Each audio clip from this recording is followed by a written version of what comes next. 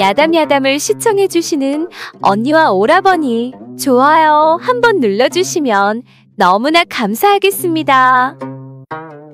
부인들은 잔치가 있거나 어떤 행사에 참가할 때 머리에 길게 따은 가발을 첨가하여 둥글고 크게 보이도록 큰 머리로 장식하는데 이 머리를 하고 늦게 되면 그 잘 다듬어진 머리가 망가지고 다시 하려면 많은 시간이 걸리게 된다. 그래서 부인들은 이 머리로 단장하고는 눕지도 못하고 많은 주의를 하게 된다. 한 전라감사가 부친은 연세가 많아 사망하고 여든에 가까운 노모를 모시고 있었는데 마침 이 노모의 생신을 맞아 잔치를 열고 인근 고을의 관장들 부인과 친척 부인들을 모두 초청했다. 그래서 시간이 되어 초청된 부인들이 모두 모였는데도 어쩐 일인지 가까운 곳에 있는 전주 판관 부인만이 나타나지 않았다. 곧 행사를 주관한 부인이 어린 기생을 불러 그 참 이상한 일이다. 제일 먼저 나타나야 할 판관 부인이 아직까지 나타나지 않으니 무슨 일이 있나 보다. 내가 급히 판관 관사로 가서 무슨 일이 있는지 알아보고 오너라. 라고 말하면서 급히 달려가 보라고 했다. 명령을 받은 어린 기생이 급히 달려 본부 내하로 들어가 살펴보니 아무도 보이지 않고 사방이 조용한 게 인기척이 없었다. 기생은 이상한 생각이 들어 사방을 두리번거리는데 방 안에서 작은 목소리가 들리는 것 같았다. 그래서 가만히 닫혀진 문 앞에 가서 문틈으로 들여다보니 판관 대감이 바지를 벗은 채 엎드려 움직이고 있는 모습이 보였다. 그리고 그 배 밑에 부인이 속치마를 걷어올리고 두 다리를 벌린 채 머리를 두 손으로 받쳐 지켜들고 반드시 누워 있는 것이었다. 자세히 살펴보니 부인은 잘 손질해 만든 큰 머리가 망가질까 조심하며 누워서 두 손으로 목을 받쳐 머리가 방바닥에 닿지 않게 하느라고 애를 쓰면서도 가벼운 신음소리를 내고 있었다. 부인의 얼굴을 자세히 보니 두 눈을 감고 꿈속을 헤매는 것 같은 황홀한 표정으로 거의 인사불성 상태로 보였다. 기생이 소리 없이 가만히 돌아 나와서 마당에 들어서자마자 뒹굴면서 배를 움켜쥐고 웃으니 모여있는 부인들이 와서 무슨 일이 일어났느냐고 물었다. 기생이 목격했던 모습 그대로를 차근차근 자세히 설명하니 여러 부인들도 모두 웃느라 어쩔 줄을 몰라 했다. 오늘의 주인공, 즉 생신을 맞은 감사의 노모는 귀가 어두워 무슨 소리인지 알아듣지 못하고 왜들 모두 웃느냐고 물었다. 이때 한 부인이 차마 바른대로 아뢰지 못하고 어린 기생이 실수를 해서 웃는다고 얼버무려 대답하니 감사 모치는 눈치를 채고 자기만 따돌린다면서 막 화를 냈다. 이 사람들아, 내가 늙었다고 날 바보 취급하는 겐가? 못된 사람들 같으니라고. 그래서 감사 모친에게 사실대로 설명하면서 알아듣게 하려고 큰 소리로 여러 번 얘기하고 있는데 마침 전주 판관 부인이 가마를 타고 와서 내렸다. 판관 부인이 마루에 오르면서 들으니 방 안에서 자기 얘기를 크게 설명하고 있기에 부끄러워 어쩔 줄을 몰랐지만 그래도 할 수 없이 방으로 들어가 노부인 앞에 엎드려 절을 했다.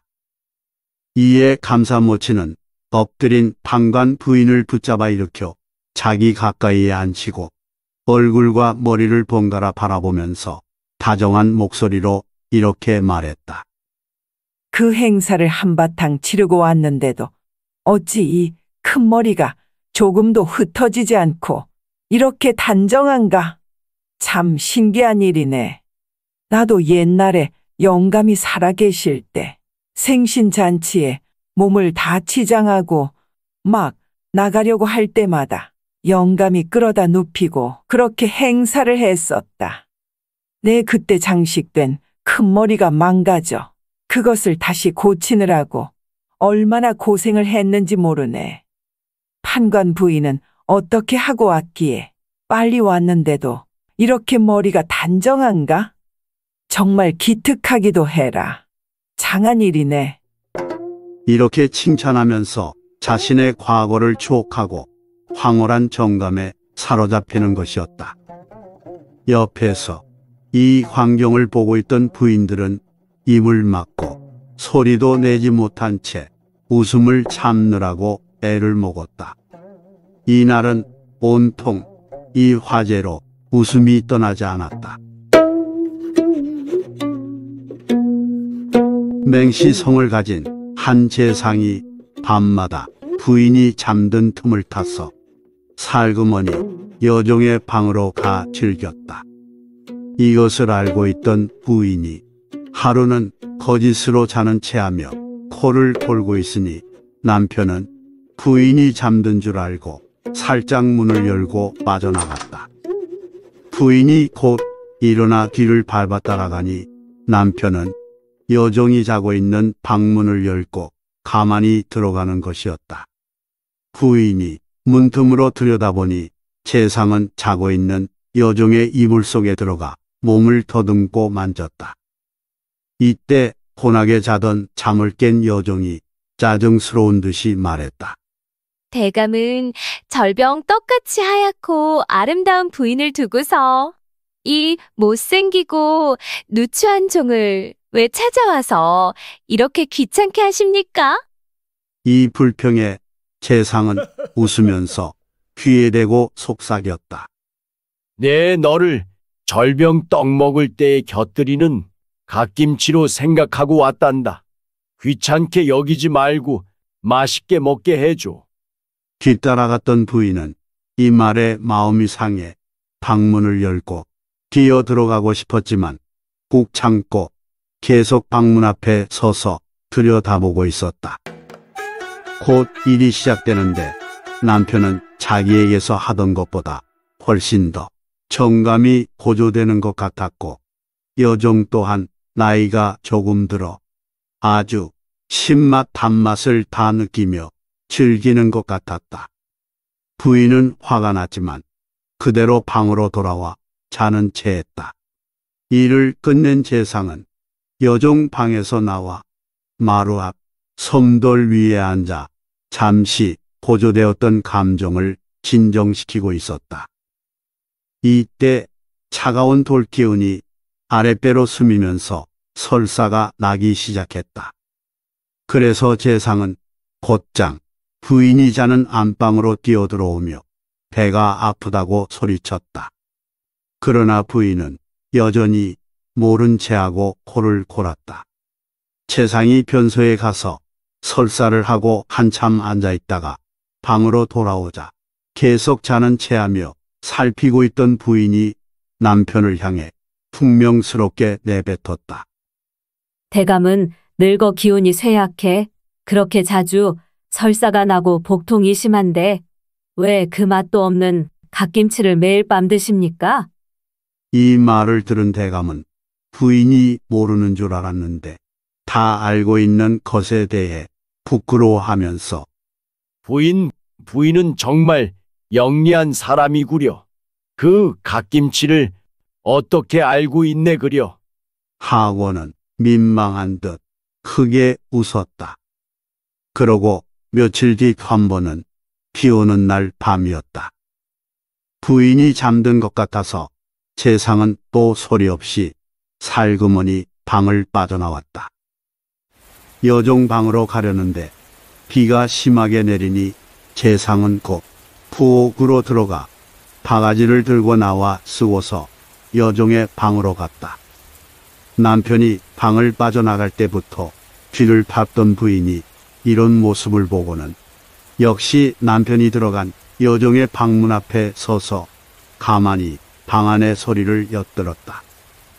그랬더니 여전히 남편은 왕성하게 여종과 잠자리를 하는데 능숙한 여종의 조종이 세상의 마음을 흡족하게 해주는 것 같아 슬그머니 질투가 났다. 내 이 영감을 한번 크게 혼을 내주어야지. 부인은 이렇게 중얼거리면서 안방으로 돌아와 남편이 돌아올 때까지 자지 않고 기다렸다가 남편이 돌아오는 기척이 나자 다듬이 방망이를 들고 안방 문 안쪽 벽에 기대어 숨어 있었다. 그리고 재상이 기침을 하며 방문을 여는 순간 들고 있던 방망이로 재상이 머리 위에 쓰고 있는 바가지를 내리쳤다. 머리 위에 바가지가 깨지면서 큰 소리가 나니 재상은 깜짝 놀라 문 밖에 털썩 주저앉아 한동안 몽하니 정신을 잃고 있었다. 한참 만에 정신을 차리고 일어나 살펴보니 주위에 개진 바가지 조각이 널려 있기에 재상은 이렇게 짐작을 했다. 옳거니 오늘도 부인이 자지 않고 내 뒤를 밟아 따라왔었구나. 허면 이 바가지 조각들은 그렇지 부인이 바가지를 무엇으로 내리친 게 분명하지. 이와 같이 추리한 재상은 털털 털고 일어나 방으로 들어갔다. 이 모습을 몰래 살피고 있던 부인은 웃음이 나왔지만 억지로 참으며 모르는 체하고 누워서 자는 것처럼 이불을 쓰고 있었다. 재상은 누워있는 부인 곁에 앉아 부인을 흔들어 일어나라고 하면서 말했다.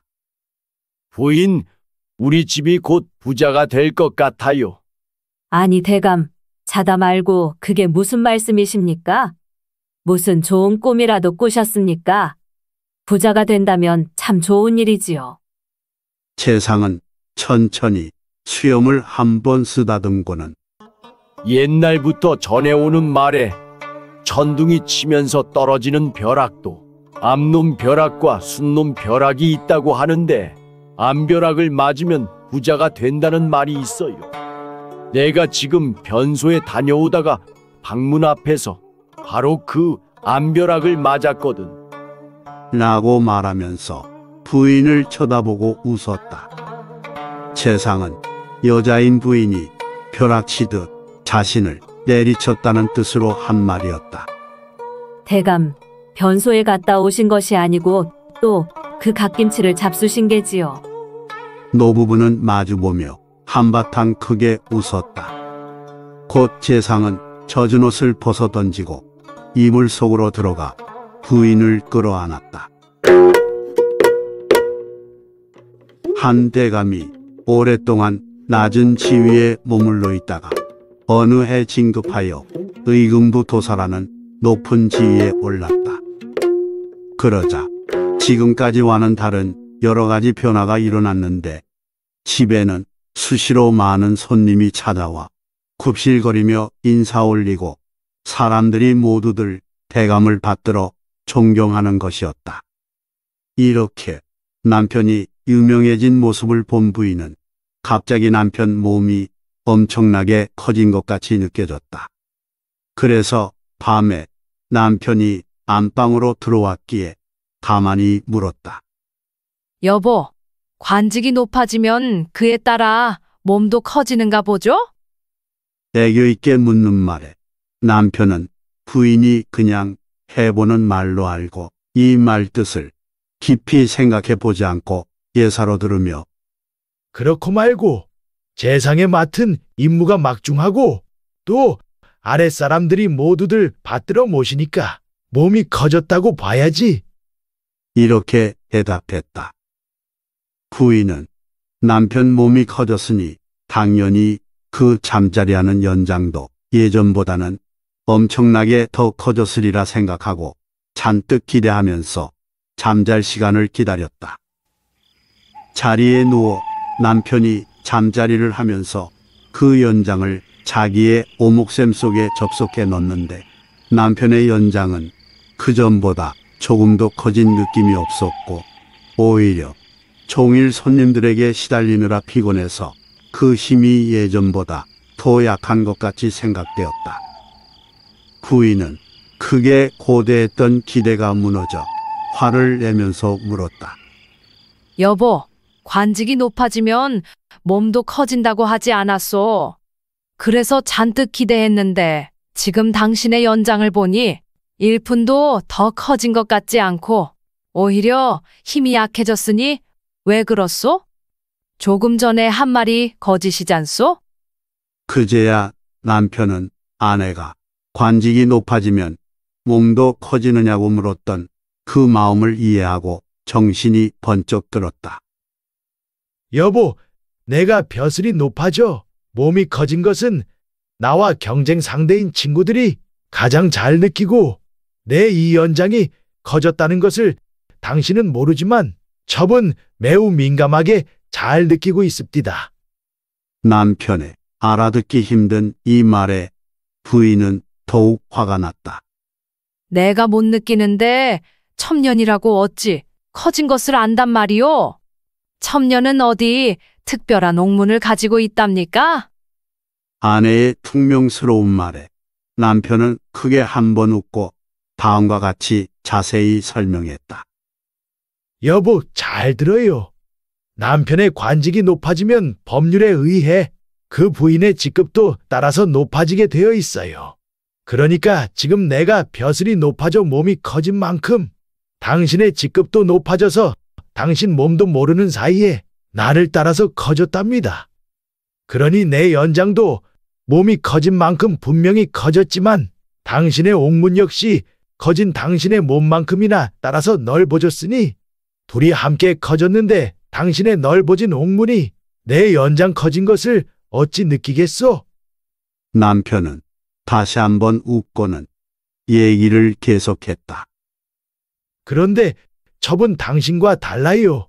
남자가 아무리 관직이 높아져도 첩은 직급이 높아지지 않으니 그 몸이 그대로 작은 상태로 있어서 옥물이 좁아 남자의 커진 물건이 들어가면 금방 훨씬 커졌다는 것을 잘 느낀답니다. 여보, 당신의 설명은 도무지 알아들을 수가 없습니다. 부인이 남편의 말을 알 듯도 하고 모를 것 같기도 해 가만히 생각해 보는 동안 기분은 점점 고조되어 매우 흡족하게 느껴졌다. 조선 초기 세조 임금이 왕위에 오를 때 크게 도왔던 신숙주가 고부군의 한 기생을 사랑했다. 그래서 신숙주는 그 기생을 서울로 데리고 와서 4년 동안 함께 살다가 좀 실증이 나자 고향으로 내려보내 놓았다. 그런데 며칠 안 되어 그 기생에 대한 추문이 퍼졌다. 이 기생이 고부로 내려가자마자 서울에서 내려간 한 훈신의 서자 한 씨와 깊은 정에 빠졌기 때문이었다. 한 씨는 세금으로 받은 배, 즉 진공포 8982를 고부에 실어다 놓고 이 기생을 만나 놀다가 마침내 그 배를 모두 싣고는 기생집으로 들어가 함께 살았다. 한 씨는 기생의 그 능숙한 잠자리 기능에 매료되어 평생을 약속했지만 그러나 들어놓은 재물이 거의 바닥나자 혹시 재물이 다 떨어지면 기생이 자신을 냉배할까 걱정되어 기생의 마음을 떠보기로 했다. 그래서 하루는 기생에게 웃으면서 이렇게 이야기했다. 너는 지금까지 많은 남자를 겪어보았을 테니 내가 겪었던 남자들에 대해 마음에 드는 순서대로 순번을 매겨보아라. 예, 나으리. 소첩이 순서대로 이름을 부를 테니 붓을 잡고 종이에 써내려 가십시오. 기생의 서슴없는 대답에 한 씨는 자기 이름을 첫 번째로 부를 것이라 짐작하고 종이를 펼치고 붓을 잡고 엎드리니 기생은 베개를 베고 반드시 누워서 순서대로 이름을 부르기 시작했다. 잘 들으십시오. 장성 고을, 아전 이청이 단연 갑이고요. 광주에 사는 무인 임만손이 그 다음 을입니다. 그리고 별로 좋지는 않았지만 4년 동안 신세를 졌으니 신숙주 대감이 안 들어갈 수는 없지요. 그러니 신숙주 대감을 병으로 하십시오. 그 다음은 교생 박명춘과 영남 손님, 오필이 그런 대로 각각 정과 무입니다. 이렇게 부르는 대로 받아 적은 한 씨는 의리상 자기 이름을 첫 번째로 불러줄 줄 알았는데 부르지 않으니 실망하여 얘야, 더 계속해 불러보아라. 그 외에도 더 많이 있을 것 아니냐? 하고 재촉했다. 이에 기생은 재빨리 눈치를 채고 말했다.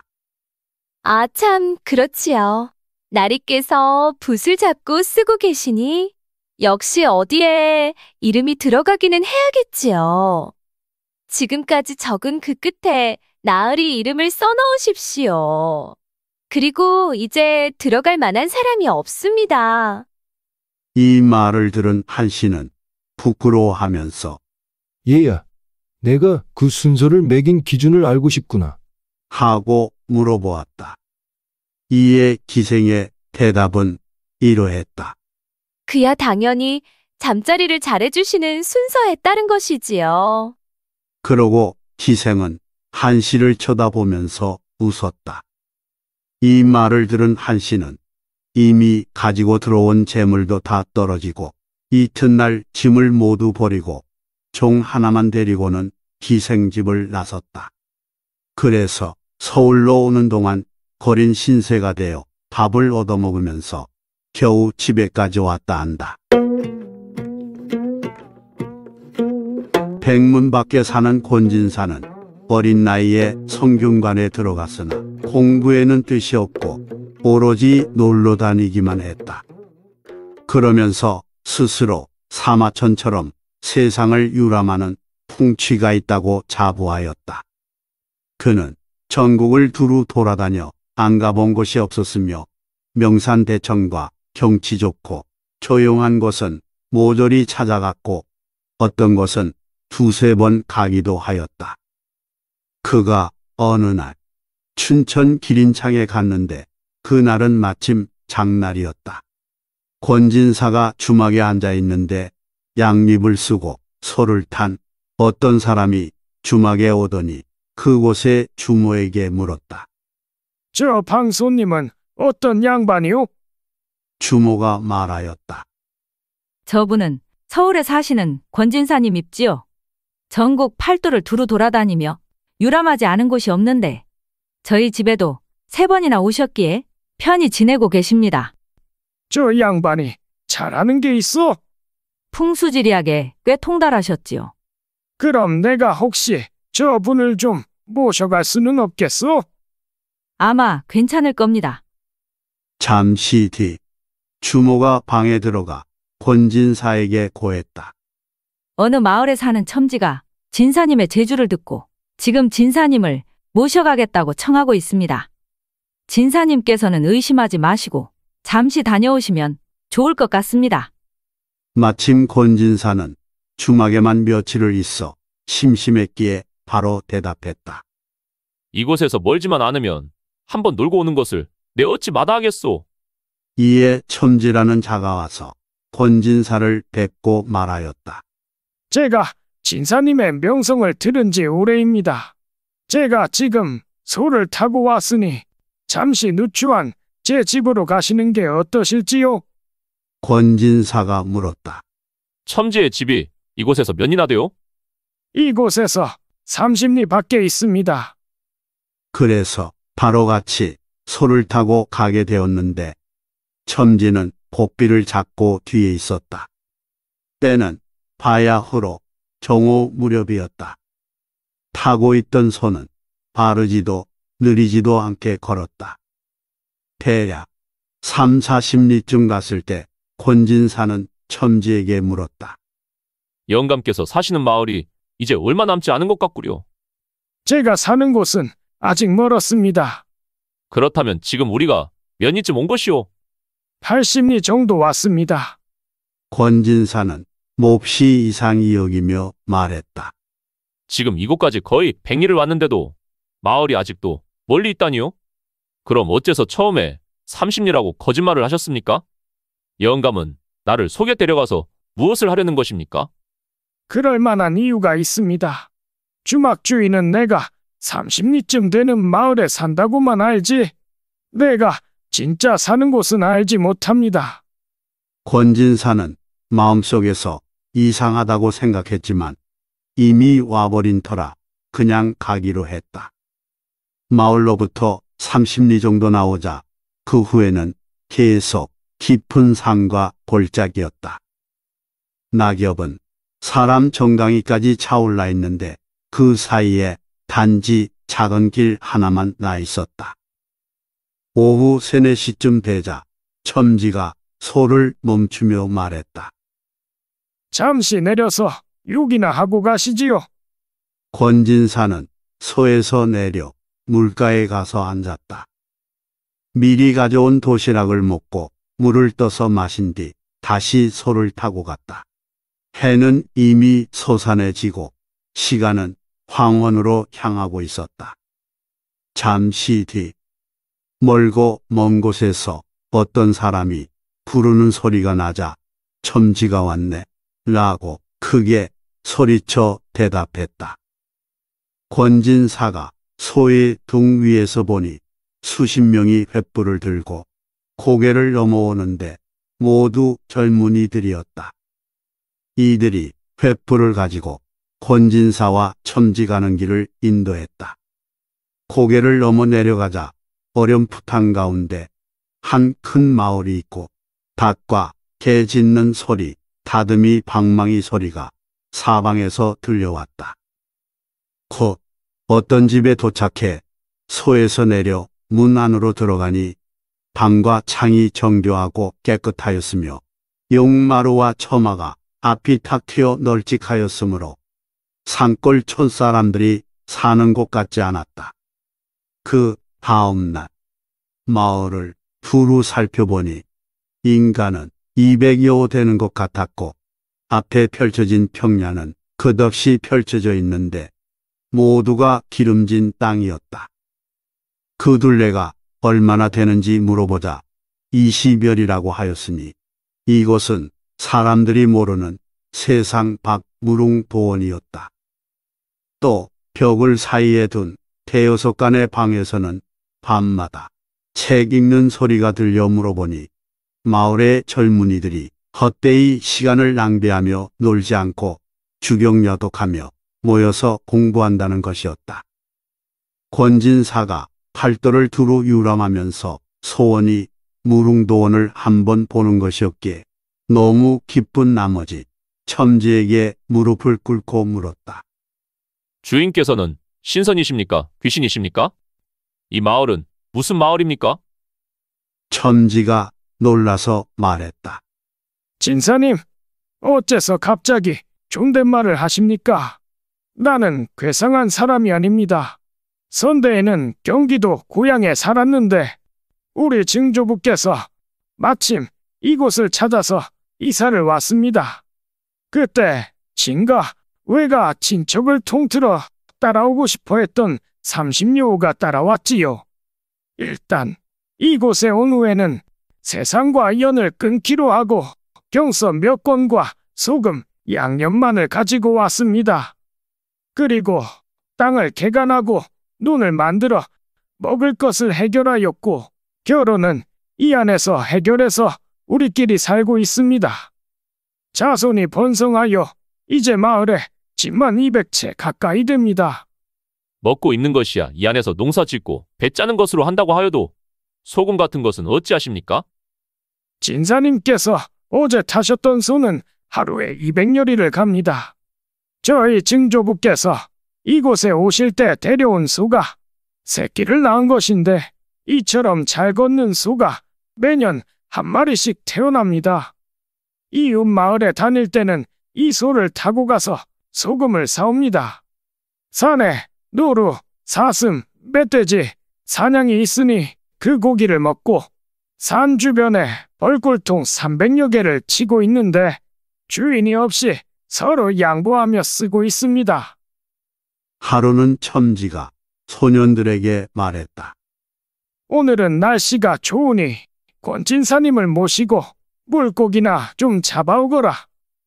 그 소년들 중 어떤 소년은 겨와 쭉정이를, 어떤 소년은 뾰족하게 깎은 막대기를 가지고 일제히 한 연못에 모였다. 물속에 결을 풀어놓고 그것이 아래로 가라앉아 소년들은 일시에 몽둥이를 가지고 수영하며 내리쳤다. 조금 지나니 한자나 되는 물고기들이 물 위로 떠올랐다. 무슨 고기냐고 묻자 목묘고라고 하였는데 붕어와 비슷하였으나 흰 비늘이 있었다. 권진사는 한 달가량 그 마을에 머물며 모든 것을 구경하였다.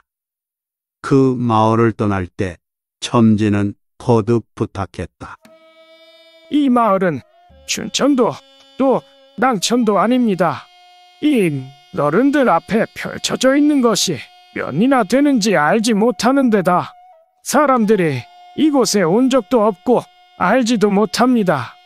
진사님이 이곳에 오셨던 것도 다 인연이니 이 산을 나가신 후에도 다른 사람에게 이를 알리지 마십시오. 권진사가 말했다. 나도 집에 돌아가 가족들을 데리고 다시 오겠습니다. 첨지가 말했다. 쉽지 않을 것이오. 쉽지 않을 것이오.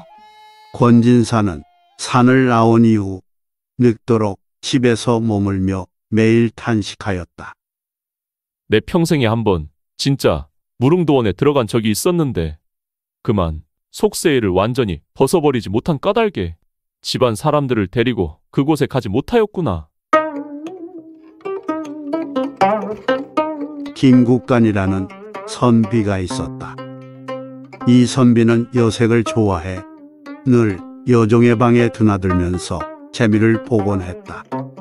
하루는 한낮에 그 여종과 함께 집 뒷산 한적한 곳에서 만나기로 약속을 했는데 하도 기분이 좋아서 이웃에 사는 친한 친구에게 여보게, 나 오늘 대낮에 여종과 만나서 사랑을 나누기로 했네.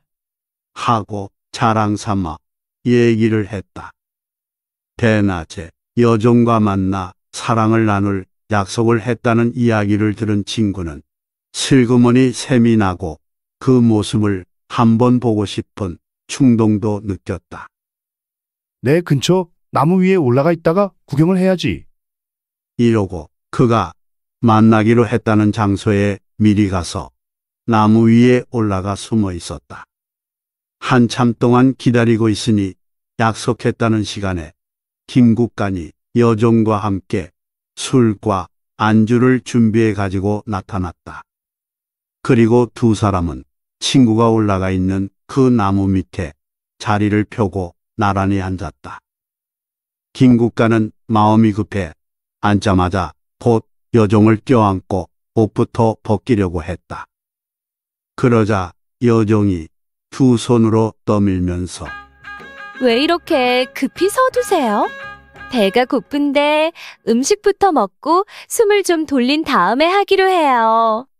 라고 말하면서 옷끈을 움켜쥐었다. 음식 먹는 동안을 어떻게 참아?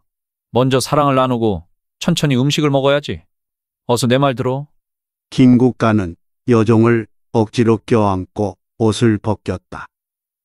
이렇게 실랑이를 하는 동안 여종의 옷이 거의 다 벗겨졌는데도 여종은 끝까지 고집을 굽히지 않고 옷을 움켜쥔 채 음식부터 먹자고 우겼다. 마침내 두 사람은 알몸이 다 되었는데도 서로 붙잡고 승강이를 하면서 끝까지 다투는 것이었다. 나무 위에 숨어서 이 모습을 보고 있던 친구는 그들의 사정이 하도 딱해서 그냥 보고 있을 수가 없었다. 누구 하나가 양보하면 쉽게 잘 될 일을 자꾸만 시간을 낭비하는 것이 너무나 안타까웠다. 그래서 참다 못해 내려다보고 소리를 질렀다. 여보게 국간이 자네 참 답답하구먼. 왜 자꾸 고집을 부리나? 그 애가 하자는 대로 음식부터 먹고 했어도 벌써 몇 번을 끝내고도 남았어. 이 바보야. 왜 그렇게 고집을 부려? 불시 나무 위에서 사람 소리가 나니 두 사람은 놀라서 어쩔 줄을 모르다가 급히 주섬주섬 옷을 집어들고 함께 도망가는 것이었다. 그러자 이 친구는 서서히 나무에서 내려와 두 사람이 두고 간 술과 안주를 배부르게 먹고 천천히 내려왔다. 이 얘기가 세상에 퍼지니 그 뒤로 고집 센 사람을 가리켜 김국간의 고집이라는 속담이 생겼다고 한다. 조선시대 조정에서는 조참이란 행사가 있었다. 즉, 한 달에 네 번 새벽에 궁중에서 열리던 행사인데, 이른 새벽 모든 대신들이 모여서 임금이 나와 앉으면 인사를 드리고 국정에 대해 임금이 지시를 내리며 또한 대신들도 임금에게 드릴 말씀이 있으면 아뢰었다. 이 행사가 이른 새벽에 개최되기 때문에 조참이라 했다. 내금이 벼슬에 있던 유시 성을 가진 관원이 새벽 조참에 나와서 친구들에게 다음과 같은 농담을 했다.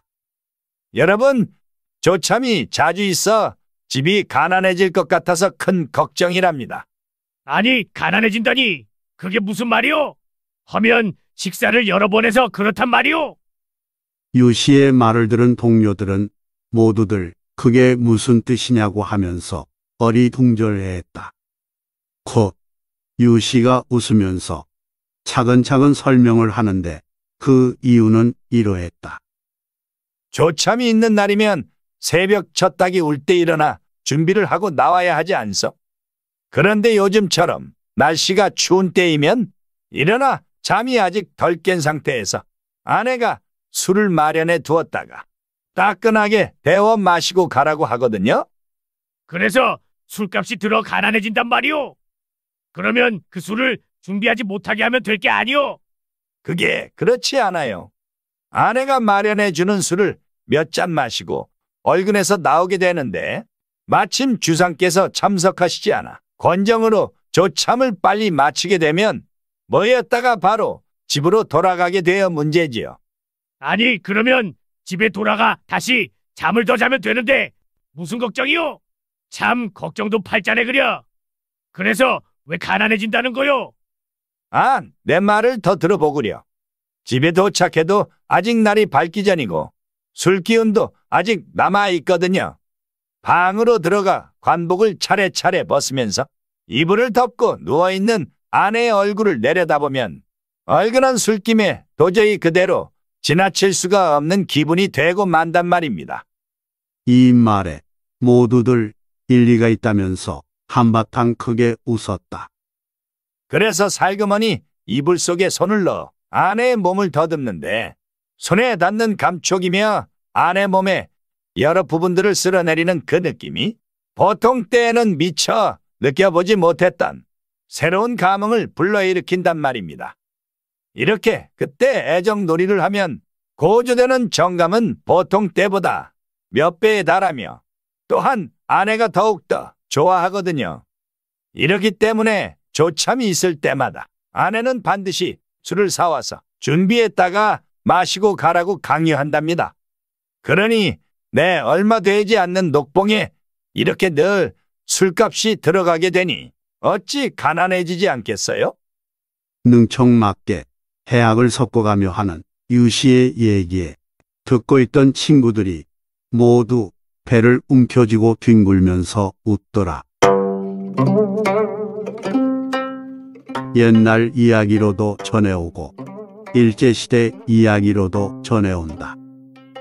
전남 강진군 선정면 태동이라고 하는데 형제가 살았다. 성은 강시다. 하루는 부모님이 돌아가시면서 아들 며느리를 앉혀놓고 당부하기를 그저 우애 있게 지내라. 형제간에 화목하는 것 이상 저 세상에서 내가 기뻐할 것이 어디 있겠느냐. 콩 한쪽이라도 나누어 먹던 너희 형제들. 그저 집이 화목하려면 남의 집 식구가 잘 들어와야 한다고. 두 며느리가 의좋게 살아라. 그런다면 내가 마음 놓고 죽겠다. 고하였다. 물론 형제와 동서는 그럼하고 하였다. 동생은 이제 분가를 했다.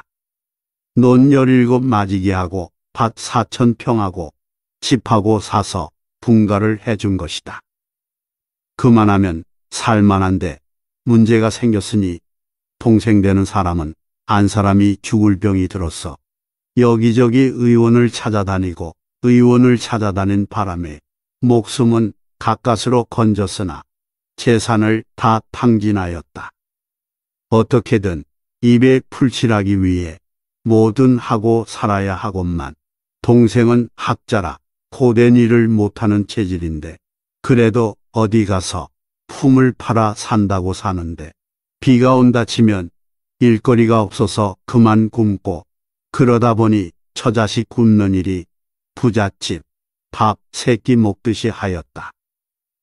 그래도 형에게 손을 벌리지는 못하였다. 분가 나올 때 재산을 다 반으로 나누어 나왔기 때문이다. 그런데 형수는 달랐다. 형님 모르게 쌀도 주고 찬도 주고 옷도 주었다. 그런 형수는 얼마나 인정이 많은가. 언제까지 그런 도움을 줄 수는 없었기에 근본적인 대책을 세우기로 했다. 그러다 하루는 형수가 찾아와서 아무 날이 무슨 날인 줄 아시오? 아, 형님 생일이 아니요? 왜 내가 모르겠어? 내가 형님이 앉았던 자리에 앉았다가 나온 사람인데 어찌 형님 생일을 모르겠어? 라고 하였다. 앉은 자리는 어머니 뱃속 바로 태도 같고 포도 같다는 말이니 문자 그대로 동포라는 말이다. 형님이 열 달 있었던 그 어머니 뱃속에서 동생이 또 열 달 있다 나왔다는 실로 아름다운 말이다. 그 아무 날이 장날이니까 지게를 짊어지고 장에 간다고 하고 장에 오시면 내가 장을 보아드리리다. 쌀하고 누룩 석작하고 뭐 고기하고 여러 가지 장을 보아줄 테니까 집에 지고 가서 술을 내리시오. 쌀하고 누룩하고 술을 내서 대승 두 대가량 독하게 술을 내려 옹기병에 담아가지고 그 아무 날 형님 생일이라고 대접을 하시오. 며칠이 지나 그 아무 날이 되자 형님 내외가 저녁을 먹고 나니까 동생 내외가 조카들하고 들어와서는 형님께 생일 축하한다고 하니까 형님이 놀래서는 아, 무엇을 일이 장만해 가지고 왔는가? 간구한 살림인 줄 내가 다 아는데. 하여간 고맙네. 어서 들어오게. 이리하여 푸짐한 생일 잔치가 벌어졌다. 다들 우에 있는 형제라고 칭송이 자자하였다. 형님은 기분이 참으로 좋았다. 형수는 얼른 부엌에 가 저녁상을 보았다. 술이 오가며 취해서는 방에 쓰러져 잠이 들었다. 이웃도 다 가고 시동생네 식구도 다 갔다. 형은 코를 골며 깊은 잠이 들었다. 그러기를 기다리던 형수는 장문을 열고는 논문서며 반문서며 다 꺼내서는 방바닥에다 여기저기 헤쳐 놓았다. 그리고는 형이 잠이 깨기를 기다렸다. 깨어보니 도둑이 왔나 싶었다. 아내의 말로는 이 형이 시중에 여러 사람 앞에서 논밭 문서를 꺼내 흔들면서 자기만 잘 살면 뭐하냐, 동생도 잘 살아야 우애가 있고, 지하에 계신 부모님도 기뻐하신다며 재산을 뚝 반으로 잘라 동생을 주겠다며 큰 소리를 쳤다는 것이 아닌가. 내가 얼마나 속이 상했는지 몰라요. 어떻게 늘리고 모은 재산인데 막 이웃 앞에서 호기당당하게 형제간 우애를 말하던데 누구 속이 뒤집히는 줄은 모르고 아이고 제가 속이 상해 죽겠습니다. 그래서 이렇게 잠 안 자고 쭈그리고 앉아서 당신이 잠 깨기를 기다리고 있는 것이랍니다. 이웃에게 물어봐요. 그랬는가 안 그랬는가? 형은 기억엔 없으나 시중에라도 잘했다며 부인에게 이해를 구하며 동생 내에 재산을 주기로 했다. 며칠 후 동생이 또 술을 해와서 형님에게 올리면서 큰절을 하고 형수에게도 올리니 형수는 또로 통하게 톡 쏘았다. 뭐 나한테는 절은 하지 말아요. 형제간 우애가 제일이라고 하고 나하고 상의도 없이 객기를 부린 형님에게 나 골백번 절을 하구려. 흥! 그러자 형은 이왕 그리 된 것인데 무엇을 그리 노염을 타느냐고 형수를 다일렀다. 형수는 그제서야 노여운 얼굴을 풀면서 일어나서 춤을 덩실덩실 추었다. 이만한 형제간 우애라면 어떤 어려움도 극복할 만하지 않은가. 한석봉이 어려서 글씨 공부를 하던 시절의 이야기는 너무도 유명하다. 한석봉의 결심과 노력도 훌륭하지만 그 어머니의 눈물겨운 뒷바라지가 더욱 거룩하기 때문에 듣는 이로 하여금 더욱 감동을 준다. 한석봉이 어머니 덕분으로 꾸준히 공부하여 처음으로 이름을 떨치기 시작한 어느 날의 일이다. 이날 한석봉은 큰 길거리를 걷고 있었다. 어느 기름가게 앞을 막 지나려는데 기름병을 든 한 소년이 참기름 다 떠넣지만 주세요 하고 외쳤다. 한석봉은 이상한 생각이 들어 자신도 모르게 발걸음을 멈추었다. 기름을 사려면 을의 가게 안에 들어가야 할 텐데 소년은 밖에서 기름집 높은 다락을 쳐다보며 소리를 질렀기 때문이다. 그러자 다락 창문이 열리더니 주인의 얼굴이 쑥 나타났다. 지금 바쁘니까 거기서 받으라면서 말이다. 기름집 주인은 커다란 기름 항아리를 바깥쪽으로 번쩍 쳐들었다. 대체 어쩔 셈일까? 한석봉은 호기심이 일어나 길에 선 소년과 다락 위의 주인을 번갈아 쳐다보았다. 이윽고 주인이 항아리를 기울이자 소년은 기름병을 또 받쳤다. 다음 순간 세상에서 보기 드문 광경이 벌어졌다.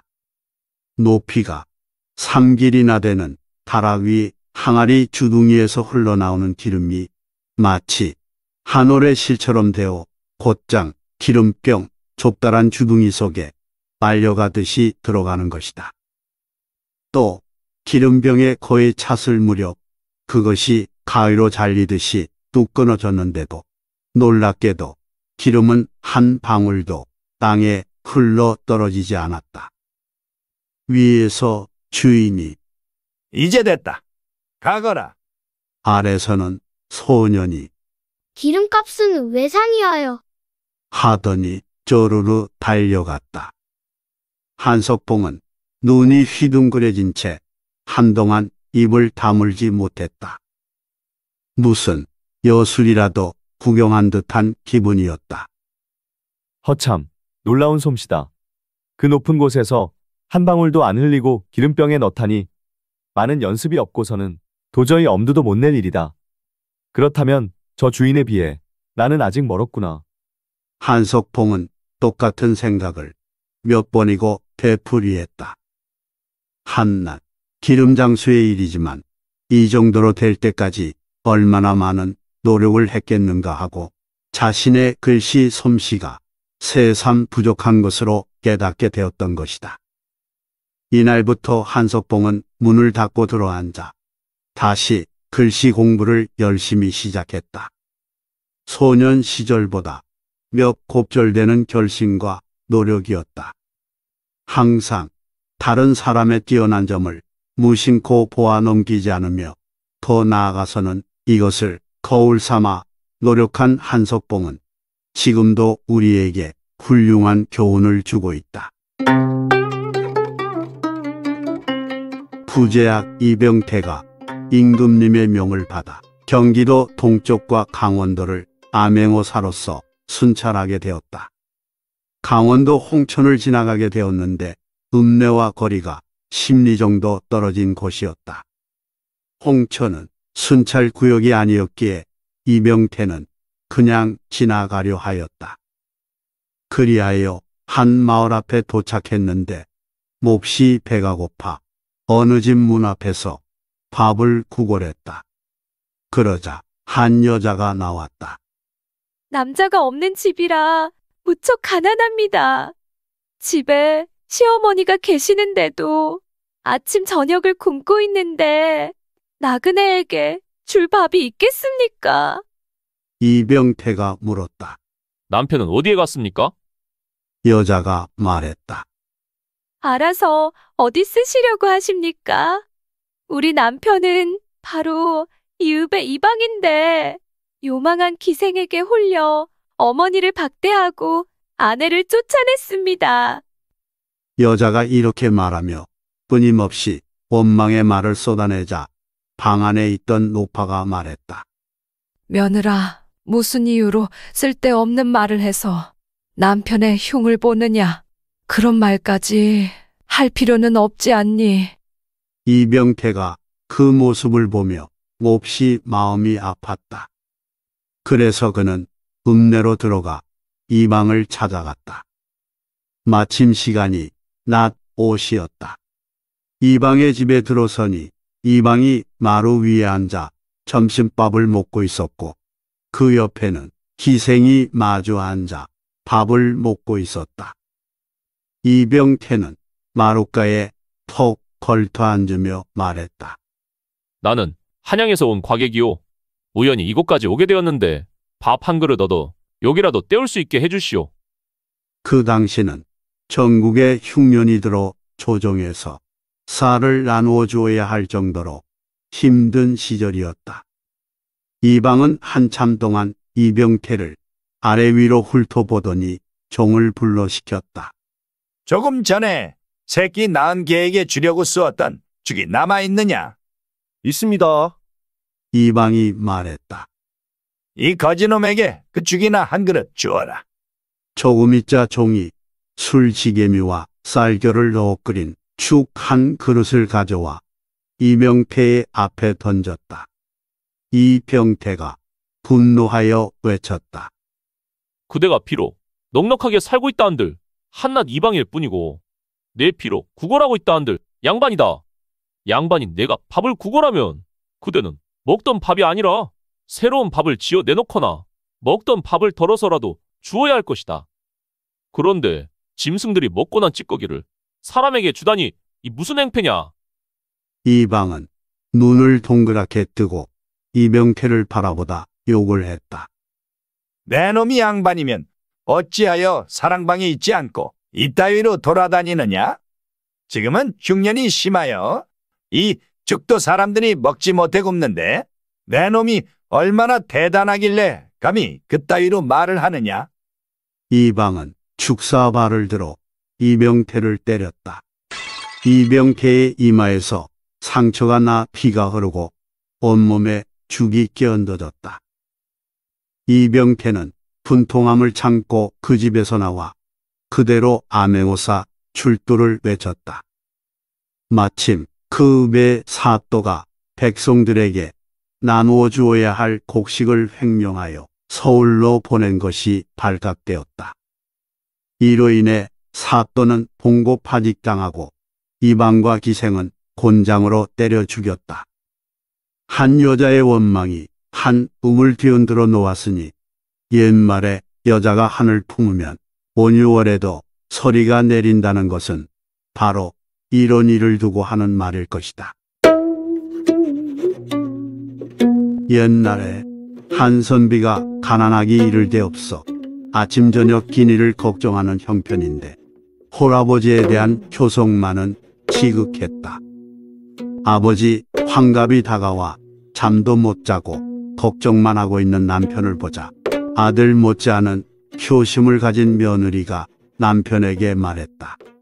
환갑이란 60년 만에 돌아오는 일생에 단 한 번밖에 없는 경사스러운 날인데 어찌 그냥 넘어갈 수 있겠어요. 제 머리를 팔아서 조촐한 환갑상을 마련하려 합니다.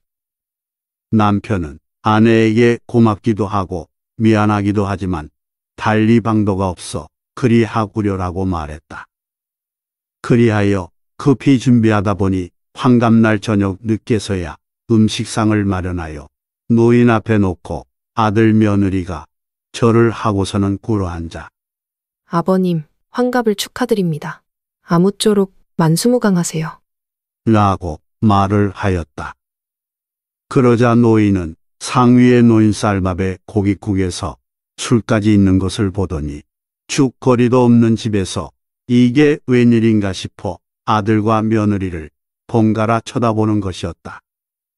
그런데 아들이 옷이 없어 몇 해 전 3년상이 난 제 애미 상복을 입었고 며느리는 수건을 쓰고 있어 벗어보라고 하니 비운이 스님 모양 머리를 빡빡 깎은 게 아닌가. 그러니 황갑상은 며느리가 머리를 잘라 판돈으로 차린 것이 확실하다는 것을 알게 된 노인은 한숨이 나올 수밖에.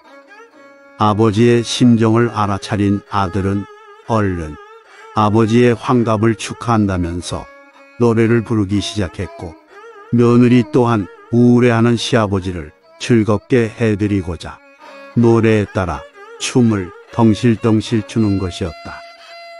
그렇다고 노인의 기분이 좋아질 리는 없으니 그저 길게 탄식만 하고 있는 기한 풍경이 벌어진 것이다. 그런데 바로 이때 숙종이 미복 차림으로 백성들의 사는 모습을 살피러 다니다가 이 집 앞을 지나게 됐다.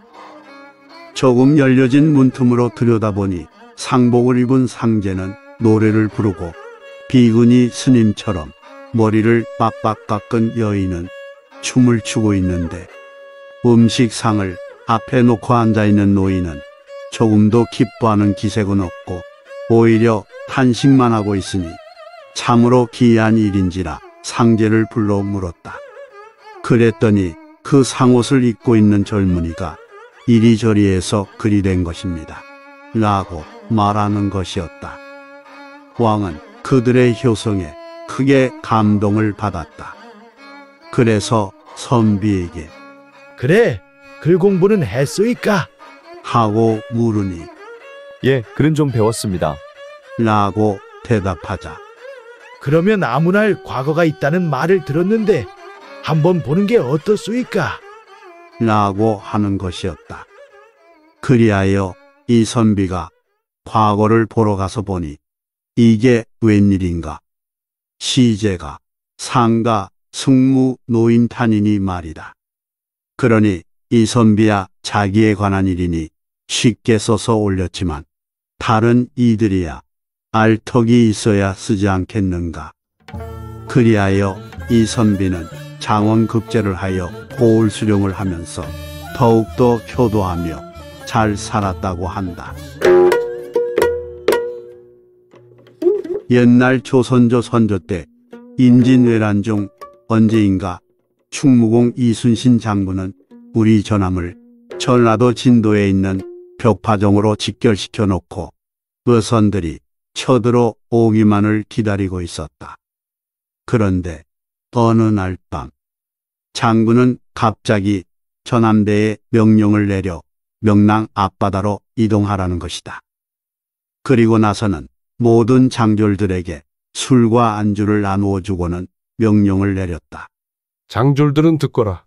너희들은 단검 한 자루씩을 가지고 그것으로 장단을 맞추어 노래를 춤을 추고 싶은 자는 마음껏 춤을 추어라.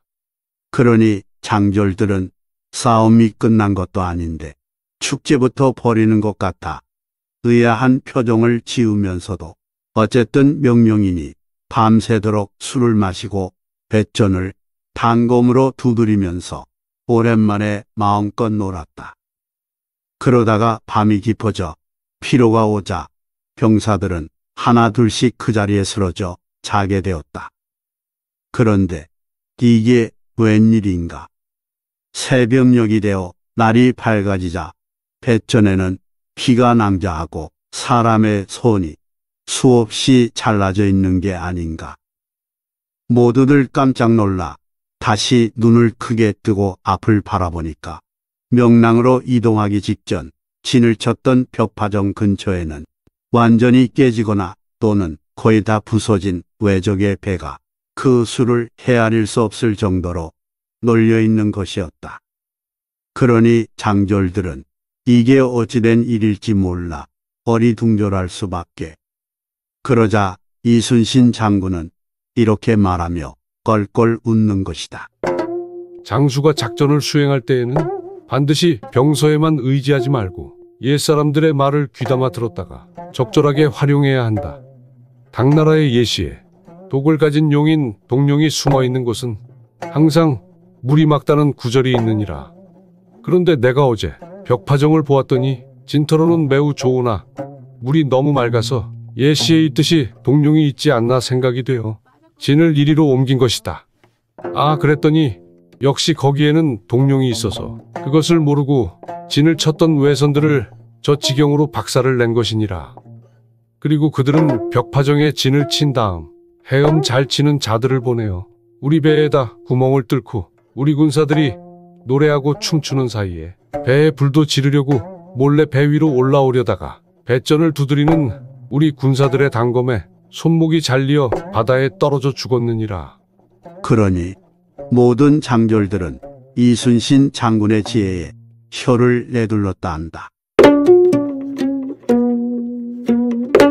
옛날 조선조 영조 때 암행오사로 이름을 떨친 박문수가 오사가 되어 조선 팔도를 돌아다니는데 한 번은 현풍에 사는 곽씨들이 효자가 많다고 해서 현풍회를 들렀다.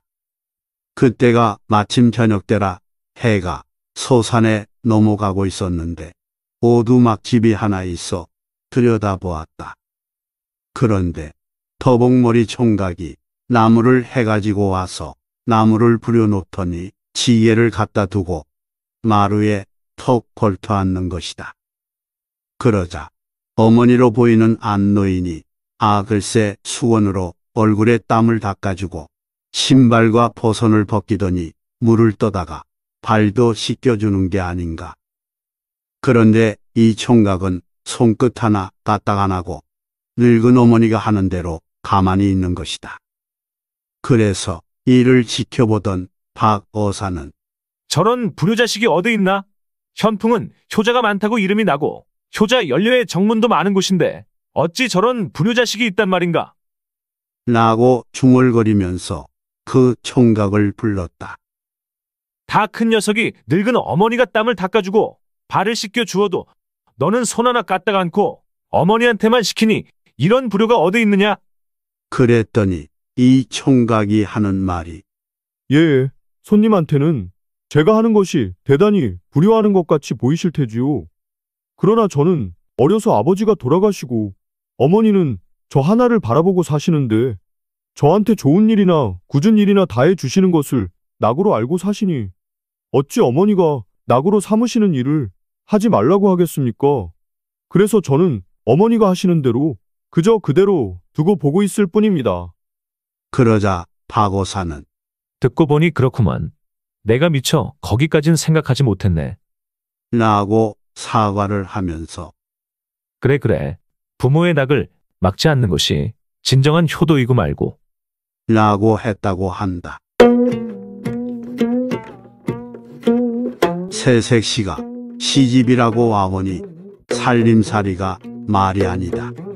신랑은 서당에 다니며 공부에 매달렸고 시아버지란 사람은 곤란 양반에 까지껏 초실하고 사랑방에서 양반 다리를 꼬고 앉아 오가는 선비들 다 끌어모아 밥 주고 술 주며 살림만 축내고 있었다.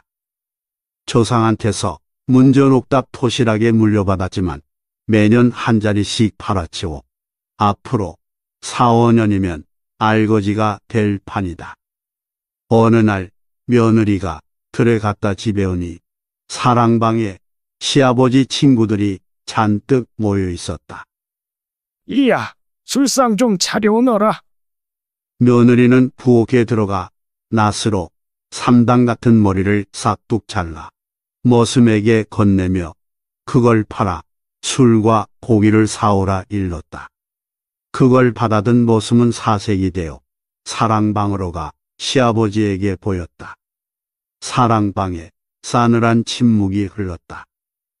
그 친구들은 슬슬 떠나고 시아버지는 혼자 남아 애꿎은 담배만 피워댔다. 벌벌 떨고 있는 모습에게서 머리카락을 싼 보자기를 빼앗아든 며느리는 저작거리로 나갔다. 돌아오는 며느리의 손에는 비약비약 우는 병아리 서른 마리가 들려 있었다. 며느리는 손수 닭집도 짓고 도랑을 파서 지렁이를 잡아먹이며 정성껏 키웠다. 봄이 됐을 땐 그간 족제비와 병으로 죽은 몇 마리를 제외하고 살아남은 병아리들은 도실하게 자라 중딱이 됐다. 가을이 되면 수탉도 팔고 암탉이 낳는 달걀도 팔 꿈에 부풀어 있던 어느 날 장보러 왔던 친정 아버지가 찾아왔다. 며느리 눈치를 보던 시아버지는 신이 났다. 이야, 사돈 오셨다. 닭한 마리 잡아서 술상 좀 차려라. 며느리가 닭을 잡으려고 좁쌀 한 줌을 쥐고 마당에 뿌리며 구구하자 닭들은 놀라서 화다닥 울타리 밖으로 주랭랑을 쳐버렸다. 며느리가 닭을 잡으려고 이리 뛰고 저리 뛰는 걸 보다 못한 시아버지가 나왔다. 살떡에서 쌀을 한 줌 쥐고 나와 뿌리며 구구 외치자 닭들은 장떡대로 지붕으로 날아올라 도망쳐 버리는 게 아닌가. 구구를 계속 외치며 닭들을 뒤쫓느라 구덩이에 빠지고 돌부리에 걸려 넘어지고 가시에 찔려 시아버지의 몰골이 말이 아니었다. 저녁 나절 닭장에 들어오면 잡겠다고 닭장 안에 쌀을 뿌리며 구구 외치자 닭들은 모두 마당 옆 감나무로 올라가 가지에 앉아 밤을 샐 작정인 거라. 결국 사도는 빈 입으로 떠나갔다.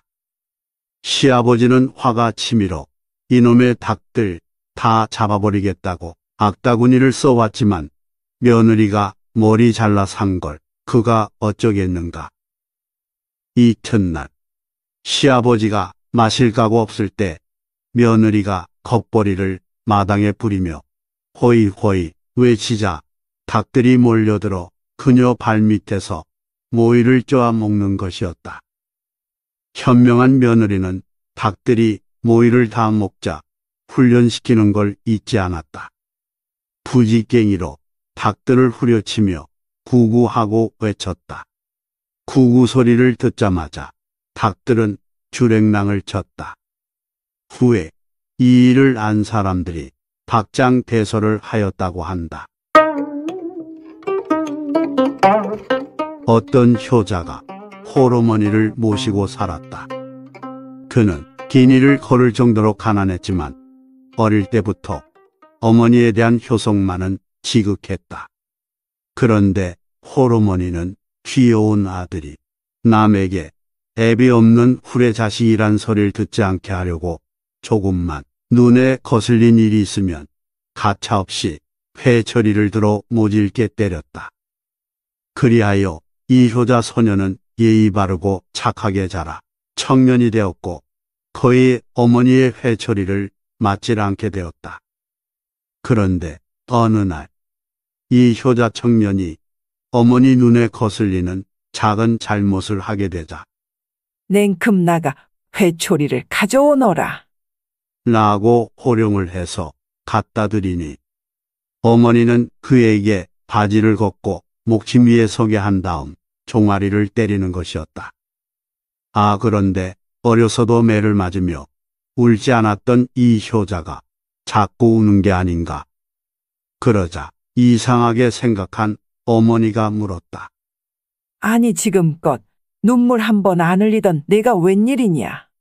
그러자 효자는 이렇게 대답하는 것이었다. 전에는 어머니가 회초리를 때리면 무척 아팠지만 저를 잘 되라고 가르쳐 주시는 것이라 고맙게 생각하고 울지 않았어요. 그런데 오늘은 어머니의 기력이 쇠하시어 매가 아프지 않으니 어찌 슬프지 않습니까? 한 고을에 떡을 좋아하는 노인이 있었는데 떡집 앞을 지날 때면 늘 안으로 들어가서 떡을 사 먹고 나오는 것이었다. 당시에는 양반이 직접 상냥이를 하는 것을 부끄럽게 여겼다. 하루는 남색 창의를 입고 붉은 띠를 가슴에 두른 채 역시 떡집에 들어가서 떡을 사 먹고는 다른 사람들이 볼까봐 몰래 나왔다. 이때 마침 그 앞을 지나가던 새 사돈과 딱 마주쳐 몹시 부끄러워하고 있는데 사돈이 조심스럽게 묻는 것이었다. 사돈이 어찌 떡집에서 나오십니까? 이에 노인은 부끄러워하며 사실대로 대답했다. 예, 아침 일찍 집을 나와 배가 고프던 차에 마침 떡집이 있어 들어가 먹고 나오는 길이랍니다. 그리고 집으로 돌아온 노인은 부인에게 이 사실을 얘기하자 부인은 다음과 같이 일러주는 것이었다. 영감처럼 연세도 있고 지위도 높은 양반이 떡집을 드나들다 새 사돈을 만나서 사실대로 얘기했으니 매우 부끄러운 일입니다. 차라리 술을 마시고 나온다고 하시지 그랬습니까? 가게를 드나드는 일이 보기 좋은 일은 아니나 그래도 떡보다는 술을 마셨다는 게 나은 편이지요. 부인의 말에 노인은 앞으로 그렇게 말하겠다면서 오늘 아침에는 갑자기 사돈을 만나는 바람에 당황하여 그만 사실대로 말한 것이다. 며칠 후 노인은 다시 덕집에서 떡을 사 먹고 나오다가 또 그 사돈과 부딪혔다. 이때 역시 사돈이 어떻게 덕집에서 나오느냐고 물어 노인은 이번에는 정신을 바짝 차리고 의젓하게 대답했다. 예, 사돈. 술을 마시고 나오는 길입니다. 그러자 사돈이 다시 묻는 것이었다. 술을 많이 하셨습니까? 얼마나 드셨습니까? 그러자 노인은 생각지도 못한 물음에 다른 생각할 겨를도 없이 불쑥 대답했다. 오늘은 한 개밖에 마시지 않았답니다. 결국 한계라는 말로 또다시 떡을 사 먹은 게 들통나 부끄러움을 당해야 했다. 이와 같이 노인은 새 사돈에게 부끄러움을 당하고 다시는 떡집을 드나들지 않았다. 뒤에 노인이 이 이야기를 친구들에게 들려주니 모두들 배를 치고 웃었다. 국사, 무상. 한 나라에 둘도 없는 뛰어난 인물. 국사란 나라를 짊어지고 나가는 인물을 뜻하고 무상이란 두 사람도 없다는 뜻이다. 즉, 국사무상이란 한 나라에 둘도 없이 뛰어난 인물이라는 의미이다. 옛날 초에 항우와 한의 유방이 패권을 겨루고 있을 때의 일이다. 한의 군대에 한신이라는 무장이 있었다. 그는 본디 항우의 부하였는데 한신의 생각이 번번이 항우에게 채용되지 않았기 때문에 유방에게로 온 것이었다. 승상소하는 한신의 뛰어난 재능을 꿰뚫어 보고 몇 번이나 유방에게 한신을 청구했지만 유방도 그를 등용하려 하지 않았다. 진이 멸망한 후 유방은 한중왕으로 봉해져 도성인 남종으로 향하게 되었다. 한중왕이라고 하니 듣기에는 굉장한 것 같지만 유방에게 주어진 영지는 깊은 산과 계곡을 몇 개나 넘어가야 하는 벽지였다. 중국의 산은 우리나라의 산과는 다르다. 그 험하기가 이루 말할 수가 없었다. 그야말로 첩첩산중을 군사들은 지진 맥진 넘어가야 했다. 그러니 도망가는 병사들이 나올 수밖에. 병사들은 작고 수가 주로 갔다.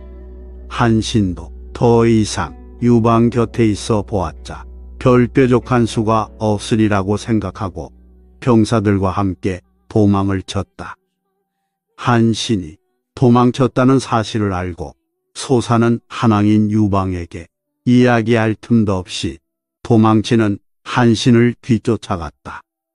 그런데 어떤 자가 잘못 알고는 유방에게 승상, 소아가 도망쳤습니다. 하고 보고를 했다. 유방은 몹시 화가 났다. 승상이 도망을 쳤다니 유방의 양팔이 잘려져 나간 것과 같았다. 그런데 이틀 후에 소화가 돌아왔다. 유방은 화가 나기도 하고 기쁘기도 해서 소화에게 소리쳤다. 승상까지 도망을 치다니 아니, 저는 도망을 친 것이 아닙니다. 도망친 자를 쫓아갔었을 뿐입니다. 한신이라는 남자를. 도망친 자가 수십 명에 이르렀지만 승상은 아무도 쫓아가지를 않았다. 그런데 한신이라는 자를 쫓아가다니 말이 안 되지 않는가? 다른 자들은 얼마든지 도망가도 상관이 없습니다. 하지만 한신은 다릅니다. 한신이야말로 우리나라에 둘도 없는 인물입니다. 벽촌에 한왕에 머무를 생각이시라면 또 몰라도 천하를 다툴 생각이시라면 그 남자 외에는 달리 큰일을 함께 도모할 인물이 없습니다. 승상의 말을 듣고 있던 유방이 알았다는 듯이 고개를 끄덕이며 말했다. 승상이 그렇게까지 말하니 그럼 한신이라는 자를 장군으로 삼도록 하지. 장군 정도로는? 그럼 대장군은 어떤가? 그제서야 승상 소아는 큰절을 하고 유방 앞을 물러나왔다. 소아의 눈은 틀리지 않았다. 대장군으로서 정권을 쥐게 된 한신은 그후 차례차례 훌륭한 전략을 전개하여 마침내 유방을 천하의 패자로 만들었다. 그리하여 현대에는 딱히 군인이나 장군의 국한에서 쓰이기보단 그냥 여러 분야의 인재들에게 두루 쓰는 말이 되었다.